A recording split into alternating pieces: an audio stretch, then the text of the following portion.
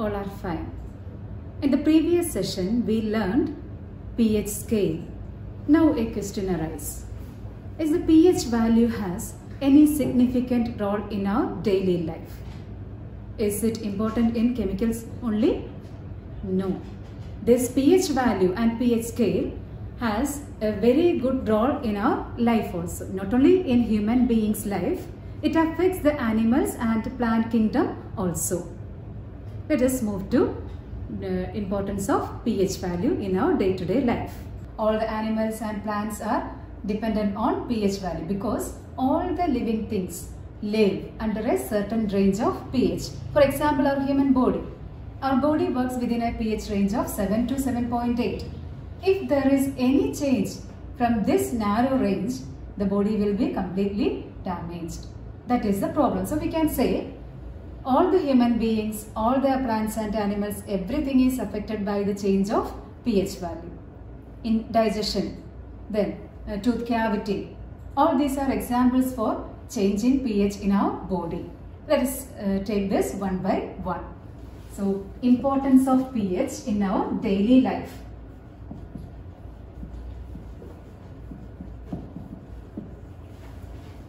Let us take the first example, indigestion.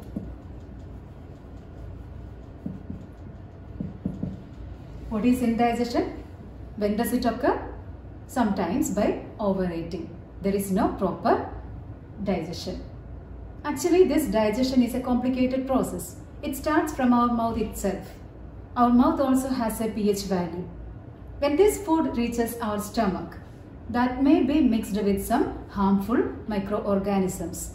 We, we know that our stomach produces hydrochloric acid. It is present along with gastric juices. This hydrochloric acid kills the small microorganisms which comes along with the food particles. Suppose if there is no proper digestion, what happens to this hydrochloric acid? It accumulates in the stomach. Due to the excess acid present in the stomach, we feel pain and irritation. What you are doing in such conditions? To get rid of this pain and uh, uh, irritation, we usually take some medicines which contain certain bases. We, you know the names of certain medicines. In some cases, some of the people are using antacids like Gelusil. Some of the people use um, milk of magnesia. Then some others use baking soda solution. What is common in all these materials? Exactly. All these contain some basic materials. Milk of magnesia contains magnesium hydroxide which is a mild base.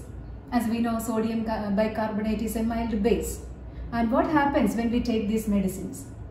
When these medicines come in contact with the excess acid present in the stomach, it neutralizes. This in indigestion, neutralization reaction takes place. Who neutralizes? The medicines which contain bases. These bases neutralize the excess acid present in our stomach and thus we get relief. Similarly, tooth decay starts if the pH value is below 5.5 in our mouth. Which is the hardest part of the, of the tooth? Calcium phosphate. Actually, this calcium phosphate is not soluble in water. But if the acidity of the mouth is below 5.3, that can damage our calcium phosphate. That starts to dissolve. When we eat, some food particle may remain in our mouth. If it is not cleaned properly, microbes work on it. They produce some acid materials. As a result, the acidity of the mouth increases. When this acidity increases, slowly this calcium phosphate dissolves and tooth cavity occurs. How can we prevent this uh, problem? First of all, we must wash our mouth with plenty of water. That is the first remedy. We have to take care of our tooth. Then, we can use a pH balanced diet. Another important point is we can use good quality uh, toothpaste. This toothpaste also have basic content. In the beginning, we discussed that in our daily life we are using many acidic and basic materials. Such a basic material is toothpaste. Toothpaste also have, have basic substances. Here also neutralization takes place. So tooth decay is another important problem that is caused by the changing pH. Not only human beings, animals and plants also are affected by the changing pH. For example, aquatic animals and plants. Aquatic animals and plants. How they are affected by the change in pH?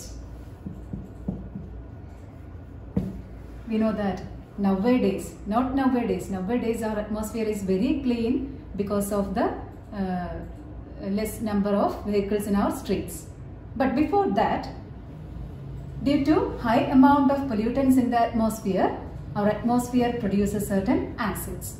During rain, rainy season, these acids come along with the rainwater and they flow directly to the rivers and ponds. As a result, the pH value of the river decreases. pH value decreases means the acidity increases. This acid, in this acidic condition, the aquatic plants and animals cannot survive. They need, they also live in a particular pH range 5.6. If the pH value increases or decreases from 5.6, the entire metabolism changes. So when this acid rain comes, the pH of the uh, river water decreases and acidity increases. In such acidic condition, plants and animals cannot survive and they die. So, animals and plants also are affected by the change in pH. These plants have, plants are growing in soil. The soil also is affected by the pH change.